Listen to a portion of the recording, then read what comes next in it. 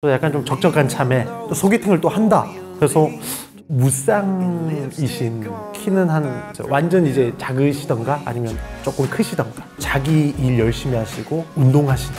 아구구 아구구. 자매님 자매님. 악마의 속삭임. 아바타 소개팅은 왜 돌아오셨습니까? 제가 이렇게 약간 장난을 많이 치는데 받아주신다든가. 사랑은 코미디다. 같이 웃을 때도 있고 슬플 때도 있고 오 진짜로 이거 사전에 아무 정보도 모르는 채로 와가지고 되게 설레고 이런 게 또 있어가지고 천의 목소리를 가지신 분이 드디어 나왔습니다. 어, 안녕하세요. 안녕하세요.